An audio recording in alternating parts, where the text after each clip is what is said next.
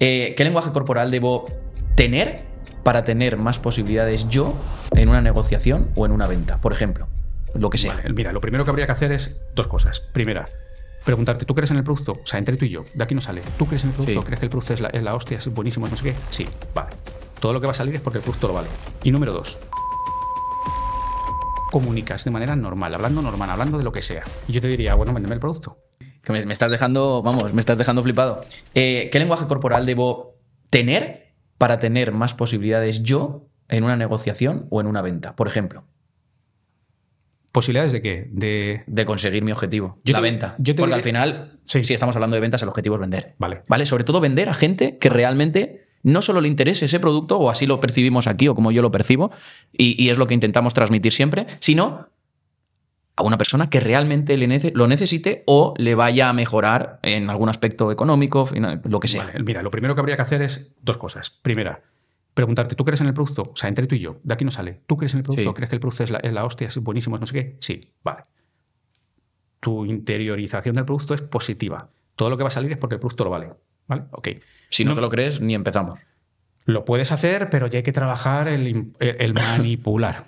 Uf, porque hay que tenemos que engañar. Ah, es cierto. Hay que tenemos que engañar. Entonces, si tú te crees el producto, y número dos, ¿cuál es tu baseline? Yo tengo que ver cómo tú comunicas de manera normal, hablando normal, hablando de lo que sea. Y yo te diría, bueno, véndeme el producto. Entonces yo veo cómo tú te mueves, cómo tú lo haces.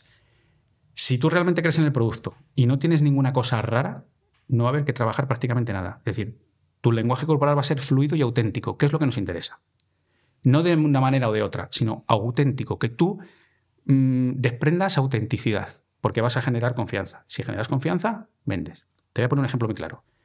¿Tú crees que el lenguaje corporal de Javier Milei es un lenguaje corporal común y normal? No. Pero sin embargo genera confianza.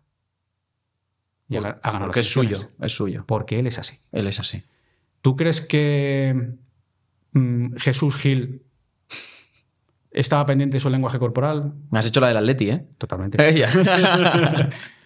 Era igual. Hmm. Pasaba, él era auténtico, Hmm. generaba confianza. Era un señor que delinquía y la gente le perdonaba. Sí. ¿Por qué? Porque era auténtico. si le pasa a otro, no lo perdonan, ¿eh? No, no, no, está claro. Entonces, tienes un montón de ejemplos de políticos, me voy a la política, que es lo primero que se me ocurre ahora mismo, que son auténticos, pese a ser muy mm, criticados por ciertos sectores, por los unos y por los otros, me da igual, ¿eh? Pero sin embargo triunfan. ¿Por qué? Porque son auténticos. Prima la autenticidad a la estrategia.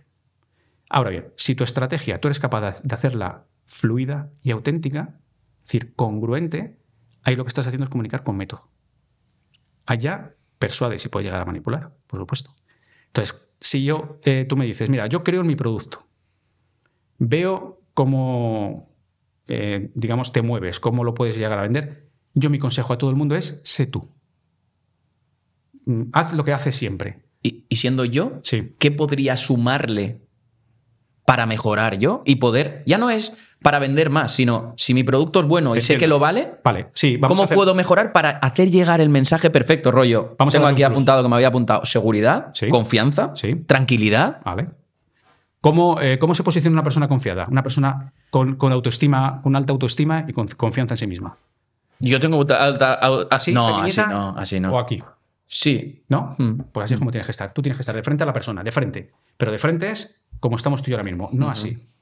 ¿Por qué? Porque cuando tú estás enfrente de una persona es porque tú estás focalizando a una persona. Hmm. De hecho, cuando nosotros queremos huir, no quere- a ver, no huir de, de huida por miedo. Sí, pero te cuando pones un poco queremos así. ir, te orientas Te hacia la un poco salida. así, sí. Entonces, Mm. orientamos. Visualización directa. Hmm. No directa de, de- de depredador, pero De tú puedes hacer mil cosas, pero, pero Sí. mirad, Ujú. elevar las cejas. O sea, esto lo, lo conocemos. No, yo nunca debo hace- hacer así. no, Ah. mira, eh, nos dice ya Joe Navarro, es un ex agente del FBI, que bueno, pues una eminencia con el tema del lenguaje corporal, eh, ya nos dice que él nota mucho la diferencia, él, investigó el tema de las cejas porque se da cuenta que cuando alguien es bienvenido o estás a gusto con alguien, cuando tú estás hablando, le recibes con las cejas en alto. Hombre, don Luis, ¿qué tal? ¿Cómo estás? ¿De cuánto? Y eleva las cejas. Sin embargo, si es, hombre, don Luis, ¿qué tal estás? Es porque me da igual o no me gusta que estés. Pero esto tiene una doble direccionalidad. O sea, yo lo hago inconscientemente o lo hago conscientemente para que tú percibas. Entonces, si yo eh, necesito que, eh, digamos, aumentar eso que tú me dices, ¿no? Vale, ya, creo en mi producto, soy, soy, soy auténtico, pero ¿qué, plus tengo? Pues elevar las cejas.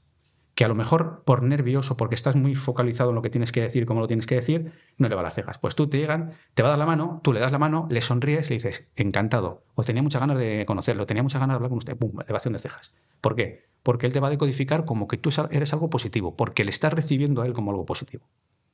Luego, si yo detecto que tú para mí eres positivo y yo soy para ti positivo, ya estamos, ya estamos todos geniales. Sonreír. Mm, ya técnicas verbales, de eh, hablar con, por su nombre, eh, personalizar, en fin, algo ya que ya, que ya conocemos.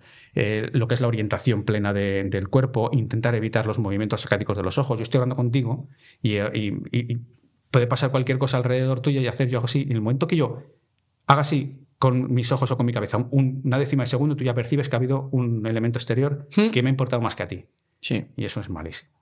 Malísimo. Eso tenemos que intentar que no ocurra o los smartwatch que te vibran, hay un mensaje y hago esto. Yo sé que es un mensaje, pero tú no. Y a lo mejor lo que tú percibes es como que tengo prisa y ya tenemos que intentar evitarlo. Esas cosas mm, tenemos que intentar. Pero eso es fácil, ¿no? Evitar distracciones es no tenerlas. Es no tenerlas o, darte la vuelta o desconectar o modo avión o, lo que sea, porque muchas veces lo hacemos inconscientemente. Vibra, lo miras y yo, cago en la leche, no tenía que haberlo hecho. Bueno, podríamos, podríamos dar un montón de. Si tuviéramos que dar tres tips sí. en el que un comprador ¿vale? Va a estar más cómodo para, para, comprar tu producto, ¿cuáles serían? Sobre todo estoy hablando de productos que al final tienen un cierre en la venta eh, con una persona, ya sea, ahora entraremos cómo podríamos hacerlo, porque claro, la gente nos está escuchando y dice, claro, pero porque estáis ahí, pero es que hoy día como todo el mundo remoto, cada vez vamos al remoto, eso no lo puedo hacer porque está delante de una cámara, etcétera, pero eso ahí, ahí entraremos. Entonces, las tres claves, por así decirlo. Elevación de cejas. Sobre todo en el primer contacto. Hombre, ¿qué tal está? No sé cuántos. Con ese me vale. Aunque luego ya no exista elevación de cejas, el primero tiene que ser el impacto. y que no se note que haces así como estoy haciendo yo. Efectivamente. Vale. Eh, elevación de cejas, lo que es el enfrentamiento. Cuando hablo de enfrentamiento es que me, pongo enfrente de ti directamente. Sonreír. Sonreír. Es decir, ser agradable. Ser agradable. Digo sonreír, pero ser agradable. Y sonreír no con la boca, sino con la cara. Hmm. Y esto es un ejercicio que deberíamos hacer todos. Porque la sonrisa social, que es algo común que hacemos todos los días, está bien, porque no es algo negativo, pero le falta, le falta magia. Hay que sonreír levando los pómulos, arrugando los ojos, que salgan patas de gallo. De esa manera hay que sonreír. Y yo añadiría alguna más, alguna cosita más. Si podemos eh, apretar la mano, apretamos la mano, reforzamos la mano. A otra persona le das la mano y refuerzas. Eso es ah, seguridad, ¿no? Sí, sí, y aparte, pero además evitando eh, ciertos agarres de mano de mano de pez lánguida, estos blanditos y tal, que son muy desagradables eh, bueno, pues es una manera no. Donald Trump, por ejemplo, ejercita muchísimo los saludos de una manera muy violenta, pero que le mm. hacen el efecto que él quiere hacer. vamos. Yo tengo un problema con eso en las manos. Porque es que a mí me sudan. Mira. Ostras, sí. Sí, pues es. Y nunca me ha dado vergüenza, y hago así un poco, pum, y, lo de la mano y ya está. Y, digo, es que me sudan mucho las manos, siempre pasa. no, es que me, no, es que me, haya lavado las manos y me las haya. Hay un saludo que se hace cuando te sudan las manos que es el cóncavo. Ah, yo, se suele hacer así. Con la gente más, más cercana y tal, hago así. También. Pues ya está. Sí, sí, sí. Bueno, bueno, pero mientras lo sepas. Sí, sí, pero lo bueno es, hacerlo naturalmente. Decirle, mira, perdóname, pero es que me sudan las manos y tal. Eso, eso. Porque si no lo dices, volvemos a lo mismo. Dejas aleatoriamente a ver qué es lo que piensa el otro. A lo mejor puede pensar que desagradable, no me ha querido dar la mano, fíjate qué manera de saludar. Tú lo dices, lo entienden. Mira. Vamos a la pregunta de. Eh, yo voy a cerrar la venta a través de una videoconferencia. Sí. Que esto, cualquier persona que venda. Eh, eh, servicios o incluso formación, eh, ahora en Internet que está todo lleno, pues cuando son presupuestos altos o tickets altos, esa venta se cierra de una manera, pues bueno, mm, en remoto. Sí, sí, sí. Pues un poco lo mismo, lo que pasa es que, claro, carecemos del contacto físico, no podemos dar la mano, pero sí podemos elevar las cejas.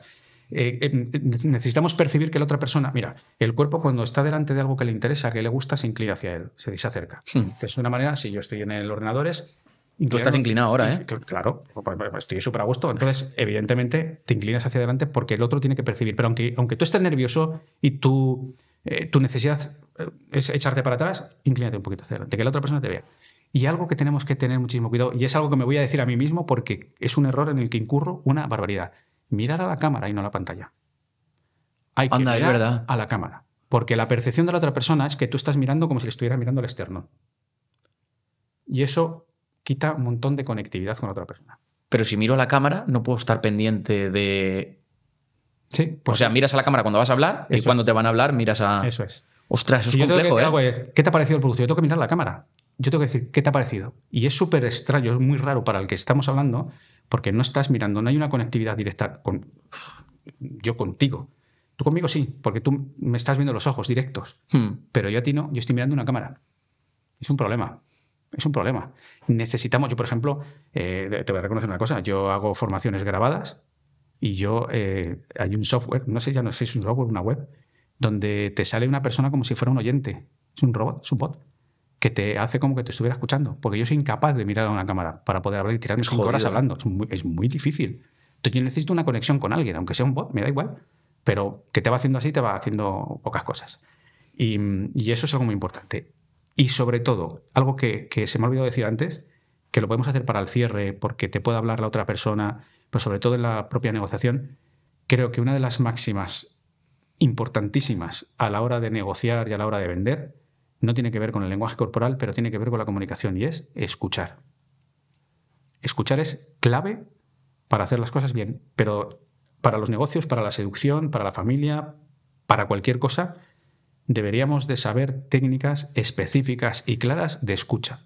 Saber utilizar silencio, saber utilizar pausas, saber hacer la escucha activa en condiciones y saber aplicar ciertas técnicas de comunicación que hacen que tú seas un gran escuchador. Eh, ya he hecho varias cosas sobre seducción aplicada a los negocios, no seducción sexual, que también, sino las, el seducir a una persona eh, con tu producto, con tu proposición, con, contigo.